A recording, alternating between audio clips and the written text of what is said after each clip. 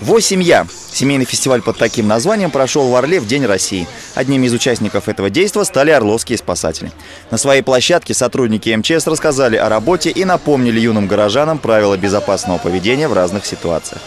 Жители нашего города, особенно дети, могут поучаствовать в конкурсе на одевание боевой одежды пожарного, познакомиться с пожарной техникой, со спасательной техникой, оборудованием, а также получить навыки оказания первой помощи. Знакомство детворы не только с работой пожарных и спасателей началось, как говорится, с вешалки, с примерки спецодежды. А где спецодежда, там и спецоборудование, резаки, пожарные рукава и дыхательные аппараты.